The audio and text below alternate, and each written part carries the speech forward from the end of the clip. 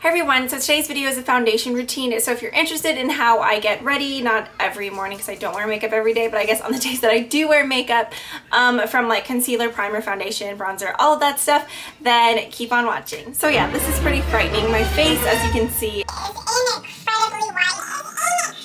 White, but I figured since I'm breaking out so badly that this would be a good time to do a foundation routine. As you can see, I have all these little bumps on my face. Um, it's the price you pay for falling asleep with your makeup on, which I did. Um, I know, it's totally bad. I ran out of makeup wipes. We came back from Disney and I still had to feed Layden dinner and pick up around the house. And I up just falling asleep with, with makeup on. So yeah, why I'm going into that, I don't know. Um, I have already moisturized my face just because I like to do that as soon as I get out of the shower. Before the water all completely evaporates that way, I'm really locking in moisture into my face. Um, so for that, I use the Korres Wild Rose Serum, the moisturizer, and then my under eye cream is the Bobbi Brown extra repair cream which if you haven't tried this before I would really recommend it. I absolutely love it especially if you have little lines under your eyes just because it helps kind of fill those in.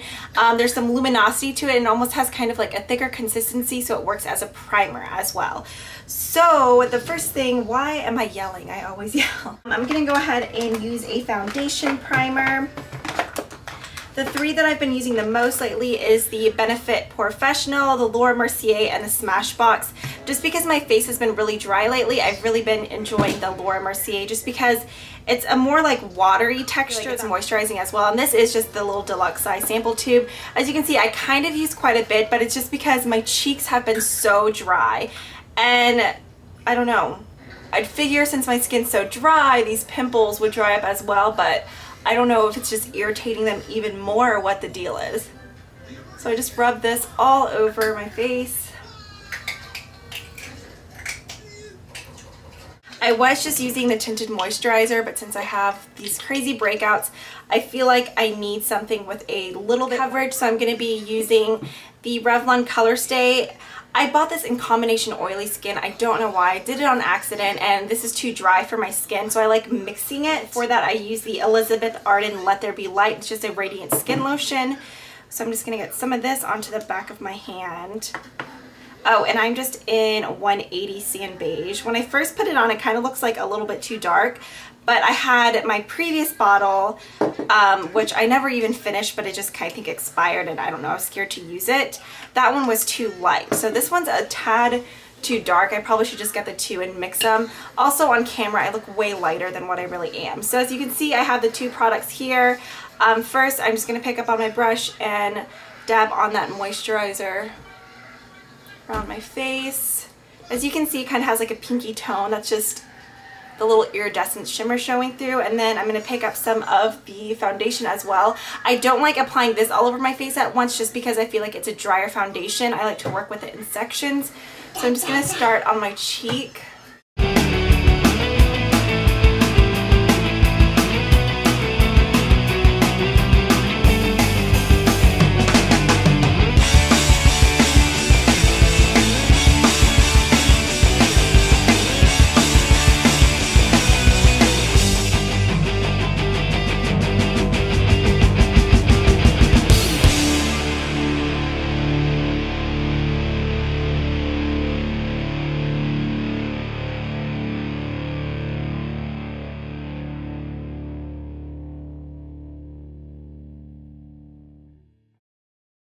I feel like the Color Stay alone is too much of a matte finish for my skin and like I said it's too drying so with this lotion mixed with it you can tell it kind of gives more of a glow rather than just one flat color.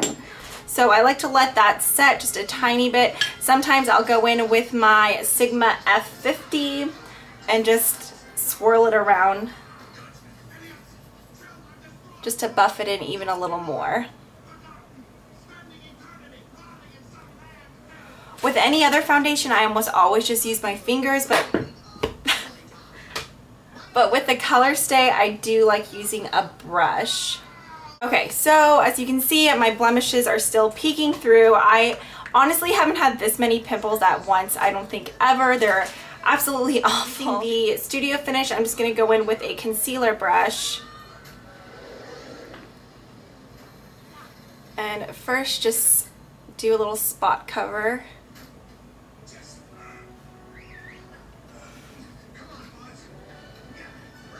I have so many on this side of my cheek and this one by my eye is driving me nuts.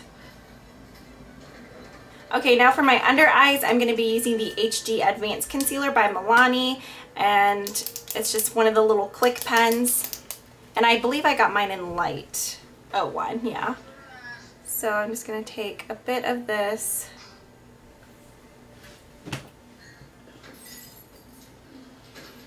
Okay, hold on. Little kitty whiskers.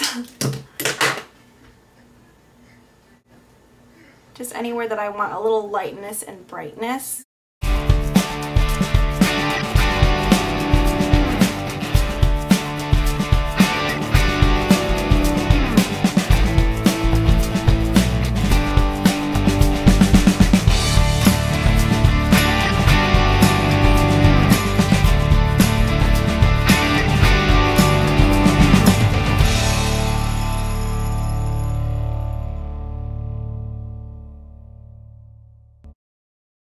Now that I have that on my eyes, I'm going to be just using the classic Coty Airspun Loose Face Powder. I just have mine in translucent. I'm going to use this to set the concealer on my eye.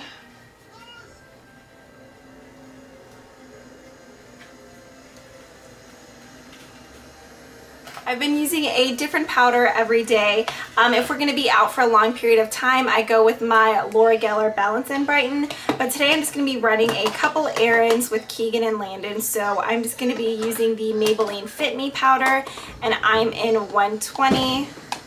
As you can see, I've used quite a bit of this. So now I'm just going to be taking a powder brush. This is the Sigma Large Powder F30. So it's just a big round brush. Just swirl it around in the product and just give my face a light dusting.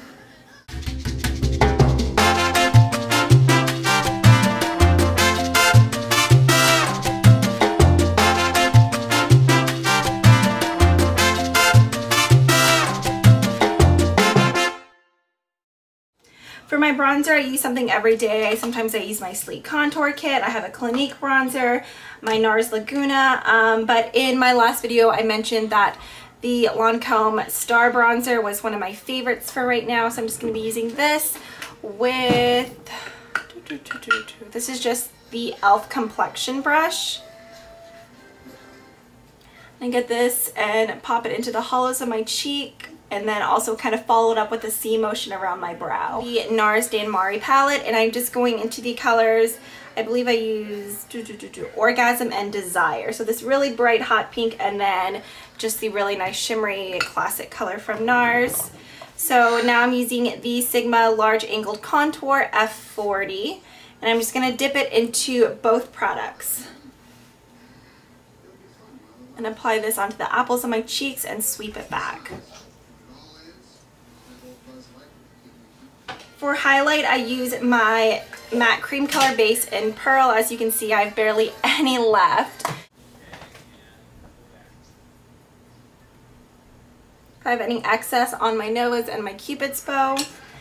And then I'm going to use my Revlon Color Stay Mineral Finishing Powder in Brighten.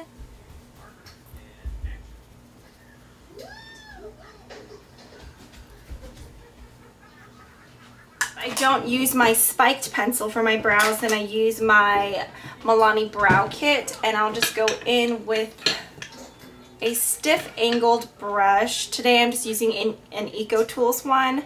and dip it into both colors and just fill in any sparse areas of my brows. Take a random spoolie and just brush them out a bit. And that's pretty much it for my foundation routine. Nothing special, but yeah, I hope you guys enjoyed and I'll see you next time.